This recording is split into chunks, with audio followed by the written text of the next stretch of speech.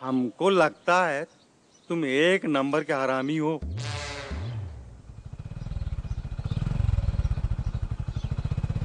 ये देखो यहाँ बैठा है टाइम पास करते हुए। प्रणाम। प्रणाम। प्रणाम चाचा जी। जीते रहो। दिन भर घूमते रहते हो आवारों की तरह। समय से घर जाया कर नालायक अब बैठे रहोगे घर जाओगे? जी भैया। इन्हें जाने दो ही रास्ता हूँ।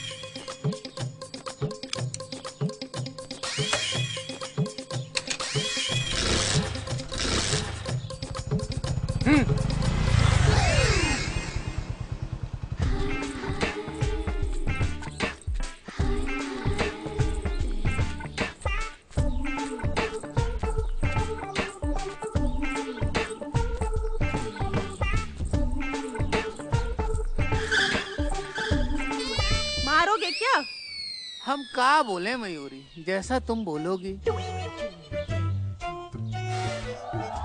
हमको लगता है तुम एक नंबर के हरामी हो।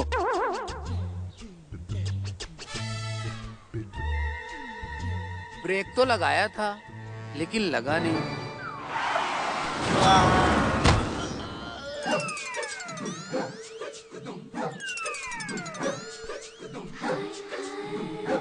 भगवान के घर में देर है तेजा अंधेर नहीं।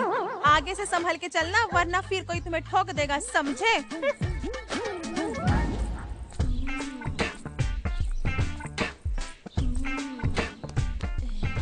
आधा किलो देना कल का रखा है। ये लो। काहे आधा किलो लेगा यार? मयूरी से अच्छा दूध किसी का है क्या? अच्छा चलो तो फिर एक किलो दे दो।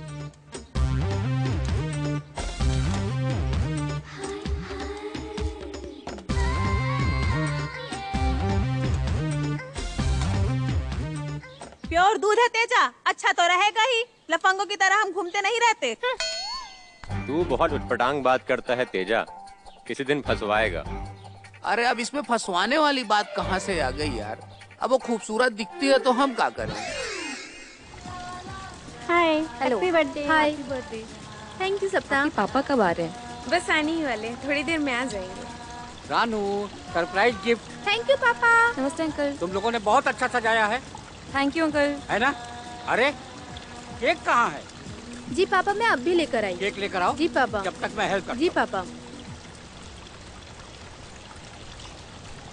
तानिया हम लोग मिलकर सजाते हैं ना? रहने दो ना अंकल हम लोग कर लेंगे। कमीना कहीं को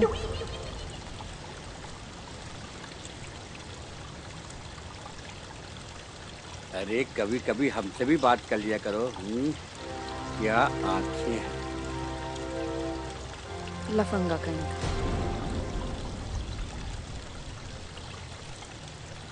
तुम्हारा सलवार सूट तो एक नंबर का है। बिल्कुल आलिया भट्ट लगती हो। हम्म, लुच्चा कहीं का।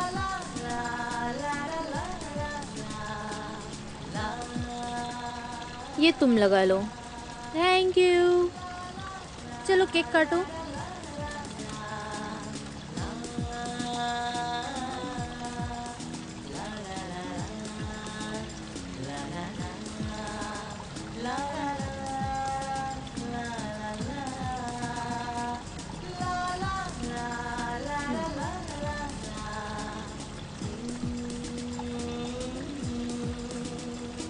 Happy Happy Happy birthday to you. Happy, happy birthday, dear Ranu. Happy birthday to you.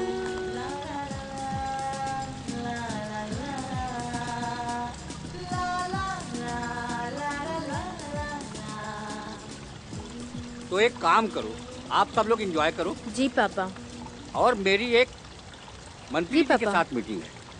हाँ। तो मैं उसको अटेंड करके आता हूँ। ओके ठीक है पापा हाँ।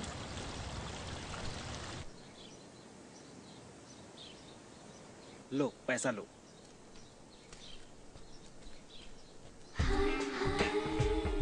अरे मयूरी आज ना बड़ी देर कर दी। चाय के भी लिए दूध नहीं है। अरे क्या बताऊँ? आज तो तुम्हारे नाम से भैंस ने भी देर से दूध दिया। इसलिए पैकेट में दूध लाई हूँ। मयूरी कोई बात नहीं है। क्या दूध है? क्या बोले चाचा? समझी नहीं। मैं तो कह रहा हूँ कि तुम्हारे दूध में पानी होने का तो सवाल ही पैदा नहीं होता। सो तो है मेरी तरह मेरा दूध भी प्योर होता है चाचा। घर का दूध है प्योर तो रहेगा ही। वैसे एक बात बोलूँ आपको? बोला। लगता है तुम ना सठिया गए हो। अपना मन ऊपर वाले पे लगा के रखा करो ताकि तुम्हारी बुद्धि ठीक काने पे आके रहे। चलती हूँ। बोल मयूरी तेरी बातें तो बड़ी प्यारी लगती है। क्या मीठा दूध है?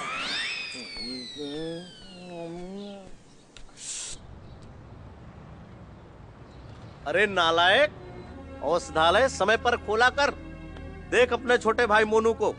पूरा घर संभाल रखा है उसने। अगर वो गुंगा नहीं होता ना तो लाखों में एक होता। काहे मेरे तेजा को डांट रहे हो? अरे हाँ तूने ही इसे सर पे चढ़ा रखा है।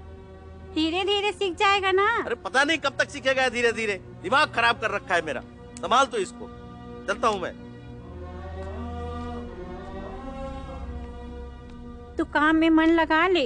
कल से पक्का करेंगे माँ जी कब से बोल रहा है? कई हफ्तों से। करेंगे माँ जी थोड़ा रुको। नमस्कार भाई साहब। नमस्कार हेलो। नमस्कार।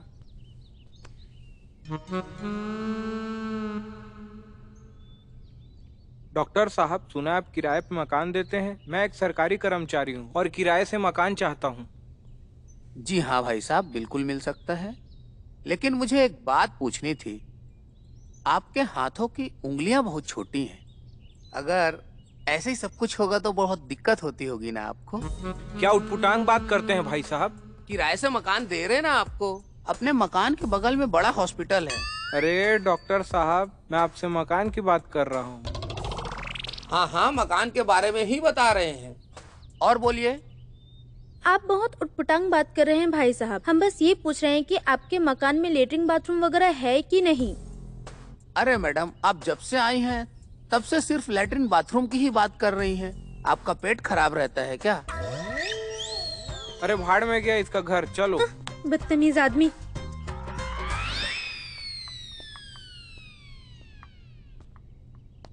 कोई मरीज़ तो नहीं आया तेजा? हम्म, नहीं बाबूजी। हम्म कोरोना गया मरीज़ तो कम होंगे ही।